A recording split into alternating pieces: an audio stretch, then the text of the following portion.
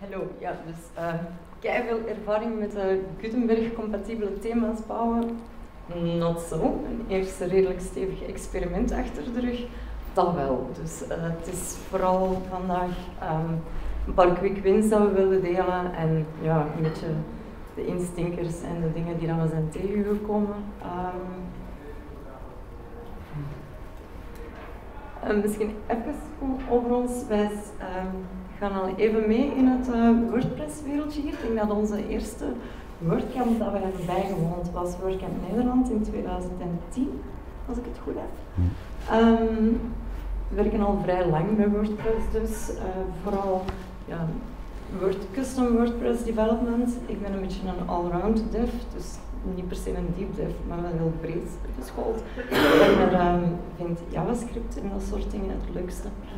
Um, en in Antwerpen, uh, een beetje mijn uitbreiding in België, ben ik ook nogal actief in een lokale WordPress community.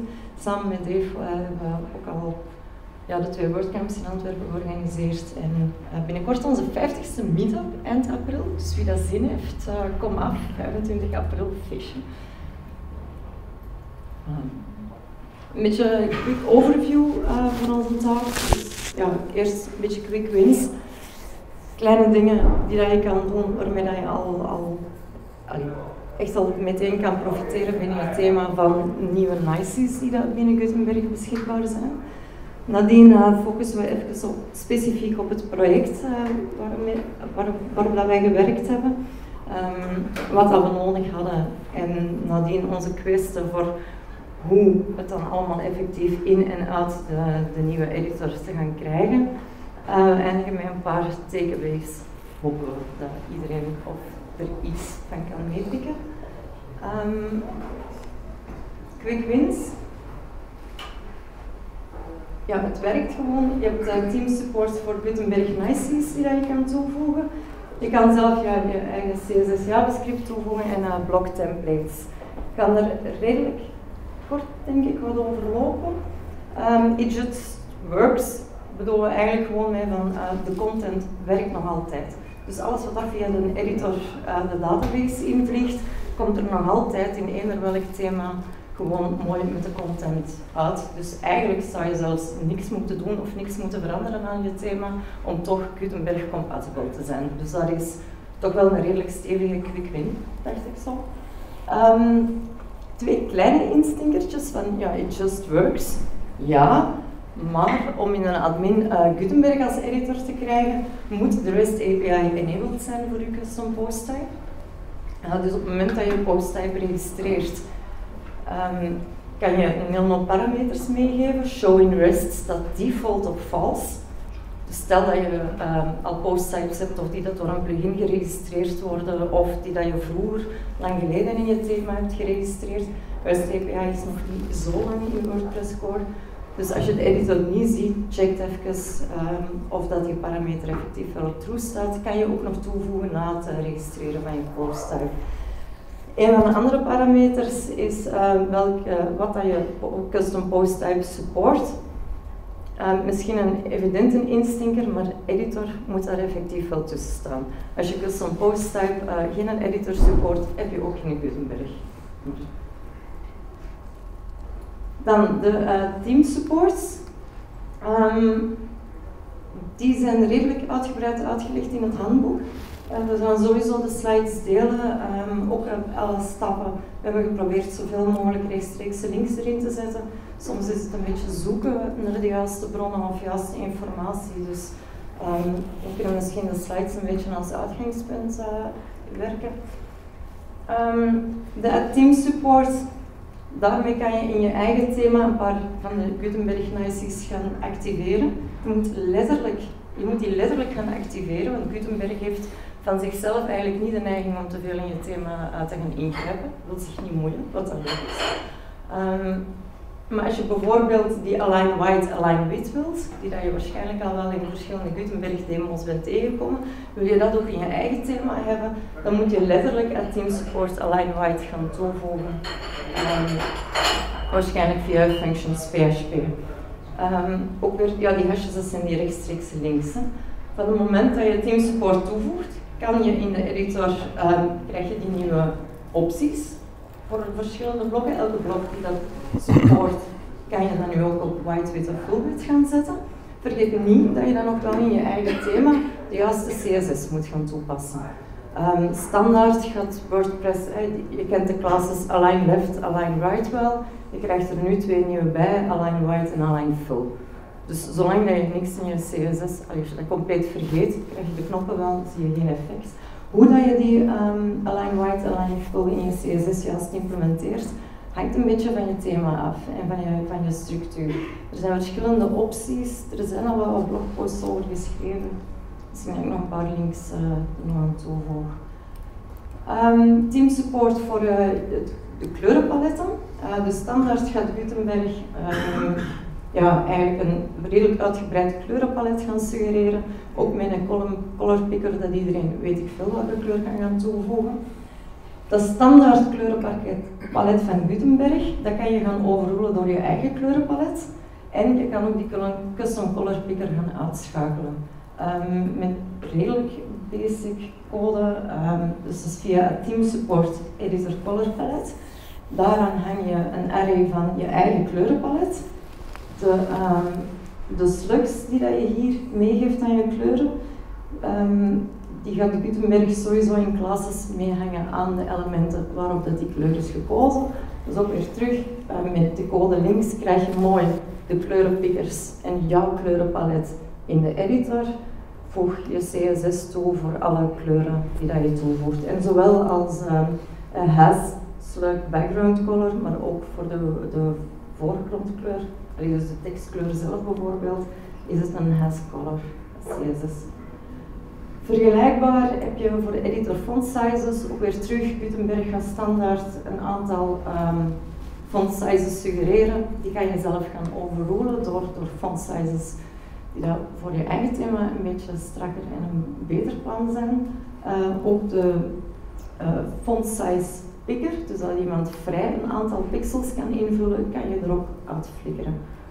Um, vergelijkbare uh, eh, PHP, ook weer terug naar array met jouw font sizes. De editor gebruikt pixels, voor zover dat ik weet. Um, in je CSS kan je uiteindelijk je eigen font sizes gaan toevoegen. Hè? Dus kan je gerust met rems of M's werken, of whatever dat je uh, tofste vindt. Team support, dat is een beetje een verwarrende, heb ik al gemerkt. Um, je frontend styles, dus je hebt ook een, een team support uh, WP block styles. Die moet je letterlijk gaan toevoegen, maar eigenlijk gaat Gutenberg sowieso al een hele hoop CSS in de front van je, van je site gaan uitspuwen. Alle CSS die dan nodig is voor alles wat dat met layout te maken heeft, dat heb je eigenlijk sowieso in je thema. Dus als je kolommen gaat toevoegen in Gutenberg, dan gaat in de CSS van je front sowieso de, CSS al zitten om opdat je diffs effectief mooi als kolommen te zien zijn.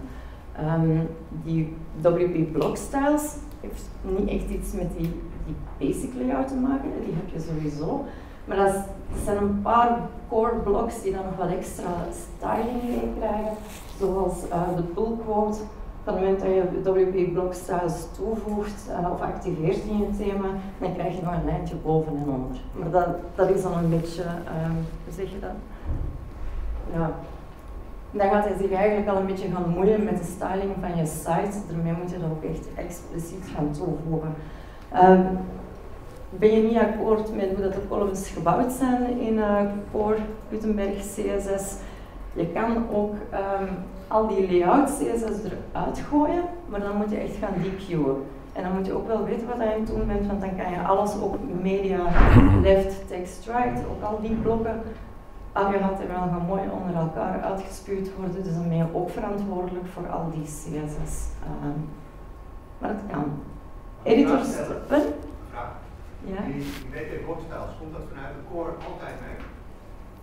Het komt vanuit de core, maar hij gaat zich niet moeien. Dus hij gaat het niet sowieso uitspuwen. Daarmee die, die team supports, die moet je echt expliciet in je thema aanroepen om die styling effectief te hebben. Um, alles wat dat je nodig heeft voor layout, zoals die columns en zo, dat heb je sowieso. De extra moet je, moet je nog gaan toevoegen.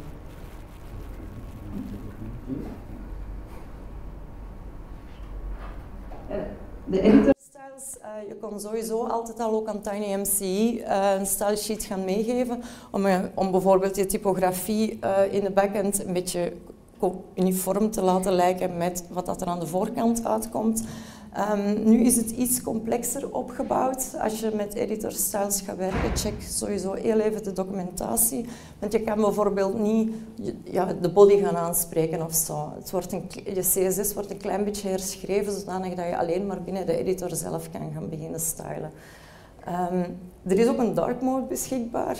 Um, daar zijn we nu voorlopig afgebleven, maar alles dark mode, dus waarom niet? responsive embeds zit standaard in Core ook eh, CSS om de, uh, als je ja, bijvoorbeeld een, een YouTube-video, je hebt een iframe, je embedt die, um, die aspect ratio van die video, die wil, die wil je dat die altijd bewaard blijft. Daar heb je CSS voor nodig. Core biedt die CSS aan, maar gaat die niet automatisch gaan toepassen, want misschien wil je binnen je eigen thema dat op een andere manier afvangen. Ben je niet akkoord met hoe Core doet, wil je het zelf doen. Um, dus je moet ook wel letterlijk gaan opt-innen voor uh, de CSS van Responsive Embeds. Nu, eigenlijk die CSS heb je sowieso. Alleen wat dat die Atim Support doet, is een uh, class toevoegen aan de body. En waardoor dat je eigenlijk gewoon, dat, allee, dat alle uh, CSS nodig voor responsiveness van iframes effectief ook toegepast wordt. Maar ook terug, um, als je thema het al zelf op een andere manier deed, kan dat conflicten geven. Dus je moet letterlijk, ja, ik wil dit gaan zeggen. Ehm, CSS en JavaScript gaan toevoegen. We hadden al de, de action hooks WP en QScript en QStyle. Um, nu hebben we er nog twee nieuwe bij gekregen, een QBlock Editor Assets, uh, wanneer dat je CSS of JavaScript uitsluitend in de editor wil gaan toevoegen. Um, assets die je zowel in de editor als in de front wilt gaan toevoegen, kan je uh, aan NQ-block assets gaan ophangen. Wil je iets uitsluitend in de front gaan uitspoelen, dan kan dat ook met die NQ-block assets, maar nog met een extra conditional van if is not admin. En uh, voor de rest kan je ze gewoon gebruiken zoals je vroeger werkte. Um, ja, voor je eigen CSS, vergeet niet de nieuwe classes die dat je nodig hebt als je die Align White of die Color Palettes hebt geactiveerd. Wil je zelf CSS gaan toevoegen aan core blokken of aan blocks vanuit plugins, je zal zien dat elk blok krijgt sowieso een klas mee. De classname wordt altijd op een specifieke manier opgebouwd. Bijvoorbeeld voor de core blocks gaat dat altijd een eh, wp-block dash en dan de slug van het blok zelf zijn. Dus daarmee kan je zelf je eigen pull quotes uh, gaan stylen in plaats van uh, default of de basics te houden. Um, algemeen wordt geadviseerd van try to keep the editor, hoe dat de editor eruit ziet en voelt, om dat zoveel mogelijk conform te houden met hoe dat uiteindelijk de content er aan de voorkant van de site gaat uitkomen. Um, dat is niet één op één, daar gaan we het straks nog, nog wel over hebben. Um, maar zodanig dat als je editor of als je zelf in de site aan het schrijven bent of je klant, dat het voorspelbaar wordt van hoe dat het er aan de voorkant gaat uitzien. Dat is uiteindelijk toch een van de grote pluspunten of de grote doelen van Gutenberg. Dus probeer het als je zelf gaat stylen om het ook zo conform mogelijk te houden. Um, een algemene tip van een kitchen sink page kan zeker helpen. Of van het moment dat je veel extra styling gaat toevoegen, maak een goede kitchen sink page voor je project of voor je thema. Zodanig dat je ook respons naar responsiveness toe in alle varianten die dat blogs kunnen gaan hebben, dat dat er echt mooi en consistent gaat uitkomen. Uh, er is ook een plugin, een block unit test, die dat eigenlijk sowieso voor u een pagina aanmaakt waar dat alle core blokken al in zitten, met alle mogelijke variaties. Custom JavaScript, dan zit je al waarschijnlijk een beetje in de realm of um, ja, custom block development. Um, er zijn een hele hoop nieuwe JavaScript goodies nu in, in Core, uh, een hele hoop packages waarvan je gebruik kan maken. Vergeet dan wel niet, als je je eigen JavaScript include, dat je die als dependencies meegeeft. Dus je moet echt letterlijk de packages van Core die dat je, waar, dat je, waar dat je functionaliteit van wil gebruiken, ja, dat zijn je dependencies. Hè. Um, bloktemplates, dat is ook nog een beetje een quick win. Ehm, als je in Gutenberg echt gewoon gaat schrijven, dan is dat misschien een hele mooie en aangename editor. Je krijgt mooi een titelveld en je kan gewoon beginnen typen. En paragrafen volgen elkaar op en je kan nieuwe blokken gaan beginnen toevoegen. Voor heel veel site-eigenaars of, of redacteuren is het niet altijd even leuk of even evident vanuit een white page te gaan starten. Gutenberg, en met die blokken, je hebt qua layouts heb je wel wat mogelijkheden. Ehm, het kan wel helpen om een suggestie te geven aan je auteurs. Ik kan een bloktemplate in code gaan, uh, gaan maken. Um, ik kan elk posttype kan je andere bloktemplates gaan. Uh, aan elk posttype kan je bloktemplates gaan toevoegen. En die bloktemplates die kan je, dus de schablonen die dat je voorstelt, die kan je dan ook nog eens een keer gaan fixeren. Maar er zitten nog een beetje haken en ogen aan om dat echt op een gebruiksvriendelijke manier te doen. Um, er, is, er, is al wel, er zijn redelijk wat voorbeelden van, die bloktemplates. Dus dat is ook de link naar het handboek. Maar ook een blogpost van eh, Bill Erickson, waar daar heel veel redelijk concrete voorbeelden in zitten. die gaat best wel, die gaat best wel ver. Hoe dat, dat er wat concreet uitziet, is uh, dit is nu een stukje code um, om ja, op het core post type post uh, een template te gaan toevoegen. Um, dus elke keer als ik nu in de admin een nieuw post open, dan krijg ik al een suggestie van uh, de blokken die hier beschreven zijn. Dus ik, mijn template is eigenlijk gewoon niet meer of niet minder dan een array van blocks. Met dan per blokje natuurlijk welke blok, dus leuk. Um, eventueel al wat default attributes die ik meegeef. En eventueel ook kindblokken. Hè. Bijvoorbeeld een columnblok kan dan ook weer terug een heading en een paragraaf en weet ik veel wat bevatten. Dus dat kan een ongelooflijk lange array worden met ongelooflijk veel uh, geneste arrays erin. Uh, hou je hakken en commas in de gaten. Um, maar als je het uh, toepast, dan krijg je eigenlijk iets zoals dit. Dus links heb je uh, hoe mijn editor er nu uitziet wanneer ik een nieuwe post begin te maken.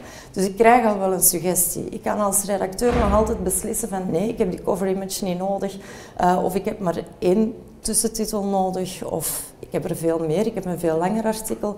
Maar ik moet niet meer vanuit, vanaf een blanke pagina gaan beginnen. Zeker wanneer je een paar pagina's eigenlijk wat ja, gaat designen, een layout gaat voorstellen, dan kan dat echt wel helpen om het wat, wat consistent te houden. Dat ook niet elke blogpost er per se compleet anders uitziet, dat helpt meestal uw bezoekers ook niet echt vooruit. Um, denk bijvoorbeeld aan um, um, wanneer je een kalenderplugin hebt of zo. Al je kalenderitems, dat ziet er allemaal compleet anders uitzien en al die datums en weet ik veel, staan overal op een andere plek.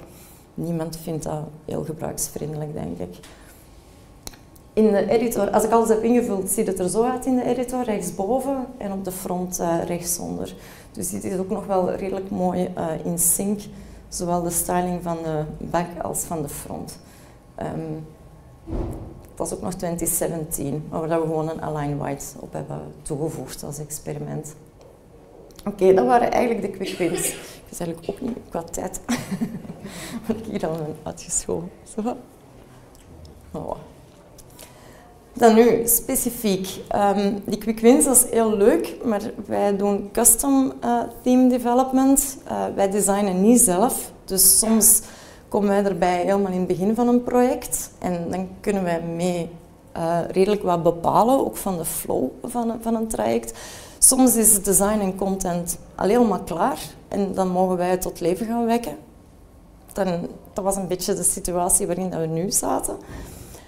Um, er waren zoveel, ja, misschien ineens deze laten zien. Er waren zoveel verschillende pagina's met zoveel verschillende soorten content. Je kunt helemaal gaan discussiëren of dat dit nu een goede manier is om die pagina's op te bouwen, maar heel veel echt wat long pages, landingspagina-achtige elementen. Um, ja, dan is eigenlijk de taak van, voor ons dan van, oké, hoe kunnen we dit nu op een redelijk gebruiksvriendelijke manier allemaal in de WordPress laten invullen.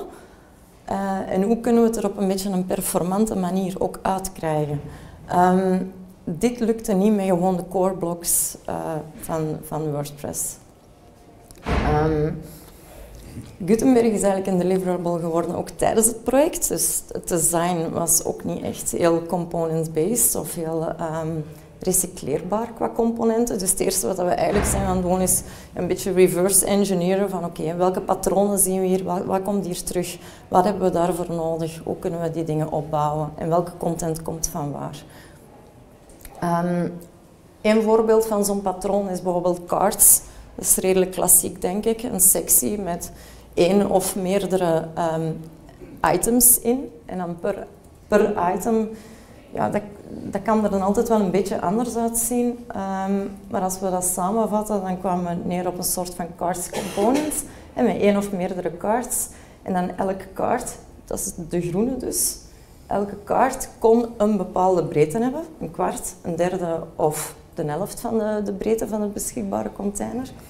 Uh, soms een border, soms niet. Uh, soms een afbeelding, soms niet. En ja, uiteraard responsive. En het moest ook kunnen uitvullen. Dus als er nu, als er nu vier items zijn en er zou nog een item bij komen van een derde breedte, dan zou dat gewoon op de volgende lijn komen met een derde breedte. Niet uitvullend, gewoon schoon elke keer blijven aanschuiven. Um, een ander voorbeeld was een soort van sticky, uh, was een subnavigatie. Um, dus omdat het vrij lange pagina's zijn, hadden de meeste pagina's een subnav. Soms was dat gewoon een soort van inhoudsopgave die bovenaan de pagina bleef staan. Op andere pagina's werd het een sticky subnav. Op zich is het dezelfde HTML die dat we gaan nodig hebben, gewoon een andere styling, een iets ander patroon. Dus dat is een, een. Dat is eigenlijk dezelfde blok opgebouwd, maar dan een style variant. Um, en ja, die links en die titels die moeten wel kloppen met wat dat er effectief voor de rest nog op de pagina staat. Dus we hebben met, uh, met secties gewerkt en elke sectie die een hashlink had en uh, een subnav-label, die komt automatisch in de subnavigatie te staan. Dan dat, ze op elke, dat de redacteur wel op elk moment ook in de editor zelf nog kon controleren van klopt dit nog? Is deze consistent van, uh, van opbouw? Um, ja, en er waren nog redelijk veel andere patronen die dat we erin terug zaten dan echt gaan zien van oké, we hebben ons patronen, we weten wat dat er allemaal in moet komen en hoe dat het eruit moet komen. Hoe gaan we deze nu aanpakken? Wat moeten blokken zijn? Wat kunnen we op een andere manier doen? Um, als het een blok is, welke opties moet een blok hebben? Um, wat hebben we al een beetje in onze trucendoos zitten? Welke uh, plugins zijn er beschikbaar? Kunnen we eventueel ook oude patronen, oude code gaan herbruiken? wat moeten we nog allemaal gaan bijschrijven om het effectief ja, te doen werken, van voor en van achter. Ja. ja op dat moment begon dan de quest eigenlijk, hè, dus onze zoektocht naar uh, blokken, welke dat we konden hergebruiken of welke dat er moesten gebouwd worden. Er zijn allemaal wel wat opties. Hè. Uh, zijn er core blocks, er zijn plugins, um, er is ook een shortcode blok dat je ook kan gebruiken. Um, maar wij hebben vooral eigenlijk met custom blocks gewerkt. Um, waarom, dat zullen we direct nog zien. En daar kan je nog een onderscheid maken tussen statische blokken en dynamische. Statische wil ik zeggen de, ja, de markup samen met de attributen die je tijdens het editen um, bepaalt, dat die worden opgeslagen in de post-content. En dynamische blokken, dat wil ik zeggen een output uh, vanuit de PHP wordt uh, gegenereerd. Een voorbeeld is een placeholder zoals een featured image of zo. Um, dus we moesten custom blokken maken, maar daarmee kwamen wel wat problemen tegen, vooral omdat er eigenlijk, ja, wat we vooral merken is een gebrek aan documentatie toch wel. Er is wel wat, maar het is heel verspreid en um, ja, vaak onvolledig. Um, we kwamen, ja, het gevolg is dat je eigenlijk jezelf gaat proberen en je hoopt dat je goed bezig bent, daar komt eigenlijk op neer. Um, de codex is eigenlijk niet echt uh, bruikbaar voor Gutenberg. Er is wel een goed uh, handboek. Er staat heel veel in, maar ook daar vaak uh, ja, iets te onvolledig. Dus eigenlijk zitten we vooral in de, in de GitHub repo de code te lezen en proberen daar iets, iets zinnig in in te ontwaren. Um, allee, of te proberen dat te begrijpen, ik zal het zo zeggen. Um, ja, voor plugins van blokken was het, is het nog wel vroeg dag. Hè. Er, zijn, er zijn er wel, maar nog niet zo heel veel. Dus ja, het is vooral veel zoeken. Uh, een voorbeeldje van die, uh, die kaart, om, om, daar nog eens op terug te komen. Um, dus je hebt, uh, zoals veel al zei, je hebt een, een, soort container en daarin zitten verschillende kaartcomponenten. Elke kaartcomponent heeft ook al verschillende componenten. Dus al voor zoiets simpel zit al direct aan vijf verschillende blokken eigenlijk. Um, waarvan één, die kaartcomponent, eigenlijk dan nog twee verschillende stijls moet hebben. Dus een, breedte en een, uh, een border. Dus uh, wat hebben we nodig voor deze simpel geval eigenlijk? Uh, we hebben al direct een kaartcontainer nodig. Uh, dus dat is een blok uiteraard. En die gebruikt inner blocks. Inner blocks is eigenlijk een manier om blokken te nesten. Um, en die inner blocks zijn dan uiteraard die kaartcomponenten. Nu, een kaart op zich is ook een container. Um, je kunt definiëren dat je als parent enkel die kaart um, container kan hebben. Zoals gezegd kan deze kaart een column-stijl hebben, dat is die breedte van een vierde, een derde of een tweede. En die columnstijl is belangrijk, want uh, die heeft ook invloed op uh, niet alleen de breedte van die kaartcomponent zelf, maar de image die erin zit, die moet ook uh, een andere size krijgen naar gelang de gekozen um, columnstijl. En er is ook een borderstijl, zoals gezegd. En um, ja, in de blocks editor heb je rechts een soort menu met een aantal settings die je kan zetten. En je kan daar dus zelf ook settings toevoegen. Dat hebben we dan gedaan voor dit geval. En zoals gezegd werken we met inner blocks. Dat is een uh, image blok die optioneel is. Een heading en een paragraph. Voor heading en paragraph hebben we de core blocks kunnen gebruiken. Voor image niet, omdat we daar toch uh, een paar speciale, speciale wensen hadden. Um, bijvoorbeeld die columnstijl waar ik al over sprak, die breedte. Um, nog iets is dat die gewone uh, de core block voor image, ja, die image kun je resizen en dat mocht in, in dit geval ook uh, zeker niet.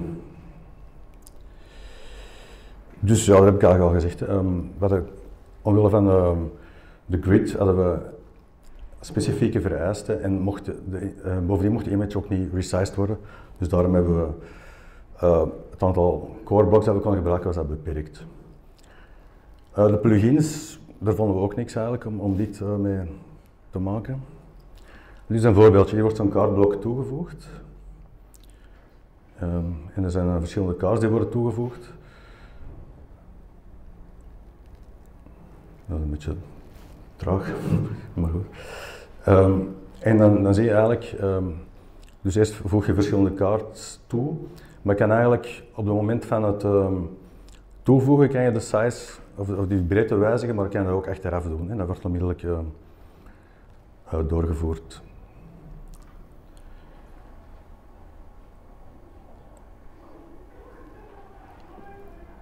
Um, voilà, dat is een derde. En dan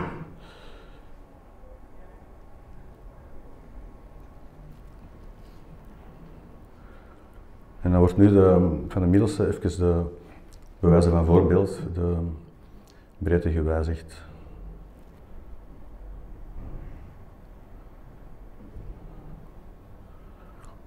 En uh, op de front zie je natuurlijk het, uh, hetzelfde.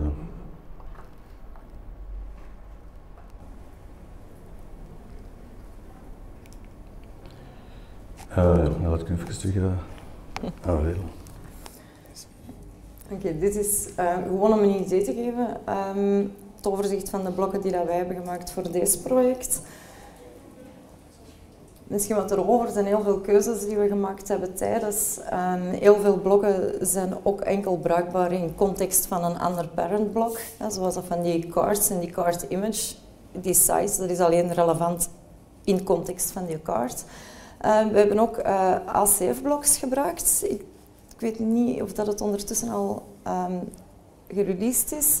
We hadden met de beta-versie van ACF Blocks. Die is um, eigenlijk alles wat je deed met de custom fields vroeger. Kan je nu in blokken gebruiken. Um, een editor die kan ook een blok preview triggeren. Dus dat is best heel gebruiksvriendelijk. Tot nu toe dacht ik dat het alleen nog maar blokken zijn die waarbij geen meta wordt opgeslagen naar de, naar de data, database. Dus het zijn echt, ja, als je zegt van oké, ik wil hier vijf uh, medewerkers gaan tonen of ik wil die en die en die medewerkers, dan kan je wel met ACF dat formulier maken. Je editor kan dat dan als een blok gaan toevoegen op de plek waar dat je wilt. En eigenlijk je kan inhaken op eh, ACF en dan via een PHP-template schrijf je gewoon je ACF-output zoals voorheen of zoals default. En dan wordt je blok ook runtime, dus dat zijn sowieso ook dynamic blocks, uh, worden die gewoon geoutput. Dus dat hebben we vooral gebruikt wanneer dat het uh, eigenlijk andere posts waren die dat opgehaald moesten worden uit de database. Um, and make front and editor look the same, they say. Um, ik was uh, vorig jaar had ik even het heel naïeve idee van, ah oké, dan kan je de CSS van de front gewoon op de editor gooien en alles werkt geweldig goed. Uh, nee, vooral omdat de HTML in de editor redelijk uh, anders is opgebouwd. Je hebt heel veel divs, um, waarschijnlijk allemaal voor de UI-flow.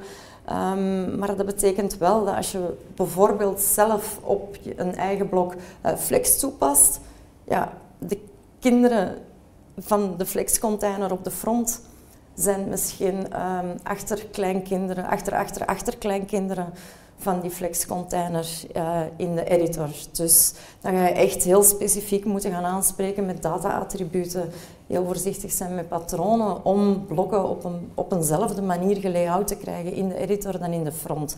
Gaat het echt puur over um, non-layout styling, dus kleuren en achtergronden en dergelijke, um, dan is het al iets bruikbaarder, maar dan, maar dan zou ik sowieso wel aanraden om um, zoveel mogelijk met classes te werken. Uh, ook bijvoorbeeld, ja, als je een button hebt, uh, op de front is dat een A-tag, maar in de editor is dat helemaal geen A-tag, is dat een content editable. Um, dus ga niet beginnen stylen in je CSS van oké, ik heb mijn WP block button, en daarvan de A, die krijgt een achtergrondkleurtje mee. Nee, probeer die A dan ook wel effectief een klas mee te geven. Want dan kan je gewoon op classes gaan stylen en dat is sowieso veel meer um, recycleerbaarder in de front en in de backend. Um.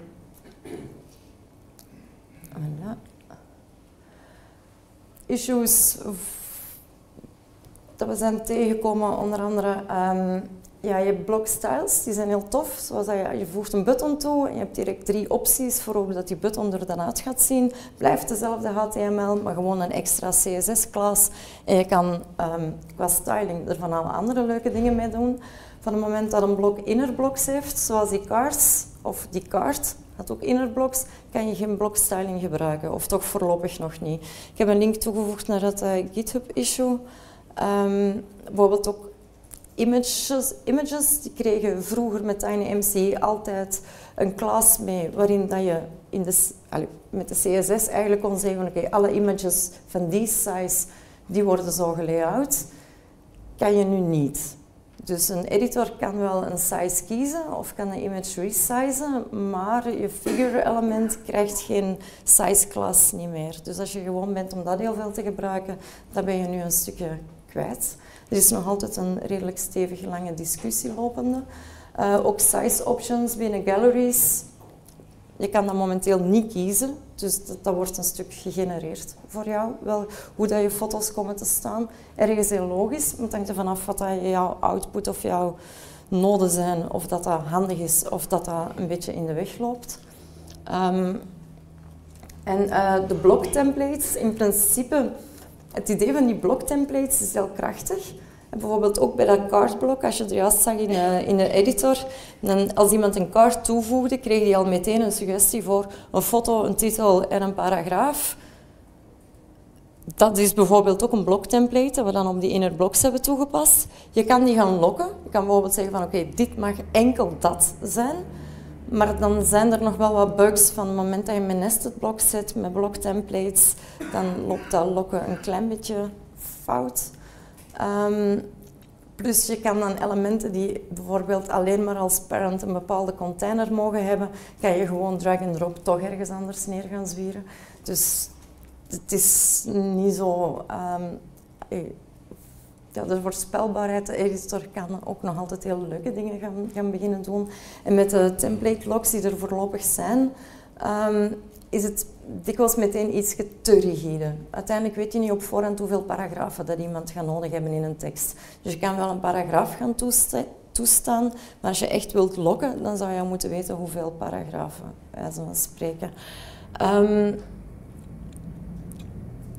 vond het allemaal best redelijk complex, ook die discussies, op een hoop dingen ook geen antwoorden of dat we ook eens niet geroepen voelen om heel erg te gaan moeien of mengen of bij te dragen.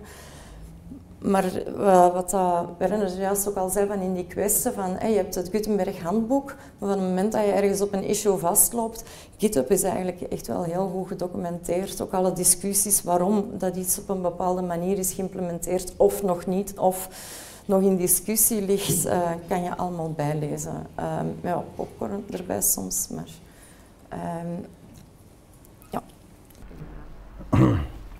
Ja, ik zal even uh, snel overgaan hier. Dus um, ja, het uh, JavaScript en React gedeelte dan, wat we gebruikt hebben is Create Gutenblock. Dat is ja, een, met één commando kan je een volledige plugin bootstrappen eigenlijk.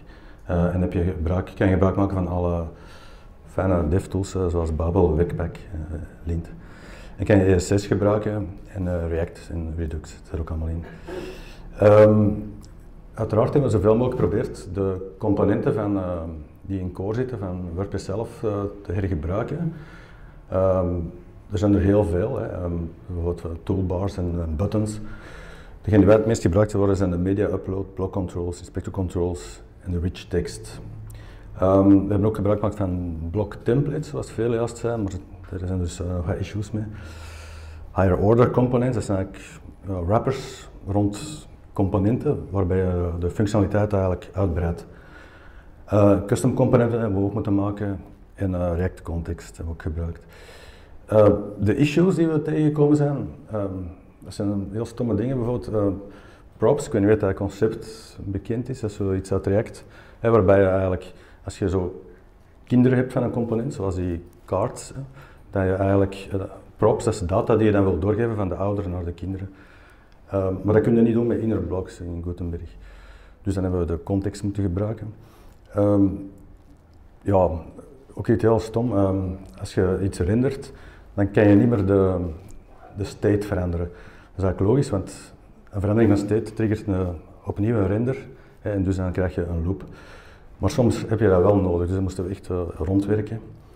Die template logs, hè, daar hebben we het ook al over gehad. Um, GitHub, daar staat heel veel in, maar dat is enorm uh, moeilijk om daar iets uh, terug te vinden. Dat duurt even voordat je dat gewoon zet waar dat was staat. Um, heel lastig is ook in de console, het staat vol met warnings, tenminste als je die bug hebt opstaan. En in het begin denk je dat dat een ligt hè, en dan zit je heel lang aan het zoeken, maar het blijkt dat er heel op uh, issues nog zijn met, met Gutenberg, waardoor die warnings uh, tevoorschijn komen. En heel vervelend ook, uh, als je aan de save-functie durft morrelen, dan riskeert je heel snel alle content te breken. Uh, Allee? Ja, dus dat eigenlijk de parser probeert dan um, hetgeen dat in jouw save-functie staat beschreven, te matchen met hetgeen dat in de database is, zit. En dan gaat hij snel merken van, eh, dat klopt hier niet meer. En dan gaat hij dat als een corrupt blok beschouwen. Uh, en als je dan uh, foute handeling doet, uh, foute keuze maakt, dan, dan is de content weg. Ja.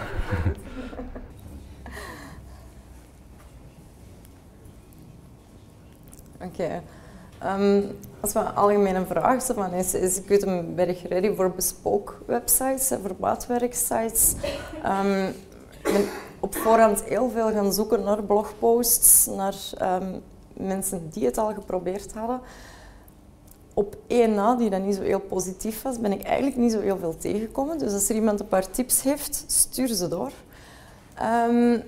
In onze ogen, ja, Gutenberg is perfect klaar om te gebruiken in bespoken sites, sites maar um, hou er wel rekening mee, zeker in een eerste project, misschien ook iets kleinschaliger aanpakken voor een eerste project dan wat wij hier nu hadden gedaan. Um, hou er rekening mee dat je ook voldoende tijd uittrekt. Uh, er is wel een zekere leercurve en uh, wat zoektijd dat je moet gaan, gaan reserveren. Um, zie dat je goesting hebt vooraleer dat je erin duikt, eventueel met kleine stappen, met, ACF-bloks bijvoorbeeld gaan proberen. Of ga kijken hoe, dat de, bloks, uh, hoe de andere bloks zijn opgebouwd. Um, uiteraard, heel Gutenberg kan je de code op GitHub vinden. Um, kan je elk blok zelf apart gaan bestuderen, maar ook alle blokken in de repo.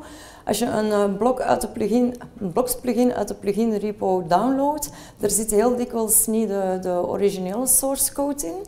Maar ergens in de readme heb ik bijna altijd wel een verwijzing gevonden naar een GitHub repo, waar dat je dan de non-compiled JavaScript en zo ook kan bekijken, hoe dat ze het aanpakken. Um, een beetje algemene takeaways. Um, ja, ik denk dat hoe langer hoe meer... Dat is sowieso een algemene trend, denk ik. Maar ik denk dat het ook een beetje in een WordPress-landschap is aangekomen. Um, echt veel meer focus op components. Uh, components-based design en development. Uh, proberen blokken zo recycleerbaar mogelijk te houden. Uh, herbruikbaar mogelijk. Designers, um, in plaats van pagina's te gaan tekenen denk in blokken, denk in, structuren. Dat wil niet zeggen dat je design allemaal op elkaar moet gaan, trekken. Je kan best nog uh, heel veel custom werk gaan doen. Um, maar dat wel je structuur klopt. Uh, mee daardoor ga je eigenlijk ook een betere focus op HTML en, en, CSS ehm, leggen, in mijn ogen. Uh, het loont ook wel om ook ja, misschien een klein bruggetje, maar wat we net zei van die save-functie, van het moment dat je ook maar één karakter in je HTML, in je save-functie verandert, is je content weg. Dus zeker van het moment dat je editors uh, al in de admin bezig zijn, moet je eigenlijk al wel al zeker zijn dat je HTML goed is. Het is solide genoeg is dat je ook alle classes hebt die dat je nodig gaat hebben om alles deftig te kunnen gaan stylen. Um, denk op voorhand gewoon na. Begin met een plan uh, uit te bouwen. En dat plan helpt voor degelijke gestructureerde HTML. Ehm, CSS, dan vooral de styling in de editor, uh, die daar toch wat meer kronkels vraagt, uh, heb ik toch wel de indruk. En um, ja, als je geen zin hebt om zelf echt in de realm van React en consorten te duiken, zoekt u eigen een goede JavaScript developer. Uh, tot op zekere hoogte denk ik dat we er allemaal ook nog wel geraken. Ik bedoel, je kan ook leren van de code, er is ook redelijk veel info in de handbooks. Maar van het moment dat, iets dat je iets, iets complexer nodig hebt, zoals van die sections met die subnavigatie, zijn dan componenten die data moeten gaan doorgeven aan elkaar. Um, of je kaart dat dan zijn formaat moet gaan doorgeven aan een image dan um, kom je toch wel rap uh, in een iets funkier JavaScript-wereld terecht. Um, voilà, dat was het uh, ongeveer. Um, hier staan nog een hoop uh, links op. ja, links naar het handboek, maar ook een paar React-cursussen voor wie dat geïnteresseerd is. Vooral Wes Bos en Maximilian Schwarzmüller, dat zijn zo wat de favorieten, heb ik de indruk. Uh, starterteams, ja, er is een Gutenberg starterteam, maar eigenlijk 2019 is ook wel een heel goed team om in te gaan spieken. Uh, of eventueel om als basis te gebruiken en je eigen team eruit te forken of met een child team te werken. Een jumpstart van de Create Guten blog. Um, ik heb ook de indruk dat de meeste blog plugins die ik heb gedownload, um, eigenlijk ook allemaal gewoon Create Gutenblok gebruikt hebben. Um, dus dat is echt wel een beetje een kickstart om, om vertrokken te geraken. Plugins, ACF-blocks en een plugin uh, Blocklab, die heb ik zelf nog niet geprobeerd, maar al wel wat over gehoord. En ja, cursussen blog development. Um, ene die dat vandaag ook ging doorgaan van uh, Luc Prinsen, maar die was verzet gelukkig. Um, en dan ja, Zach Gordon uh, heeft zich er ook wel redelijk ingestort. Voilà. En het is afgelopen, zegt hij. Dus.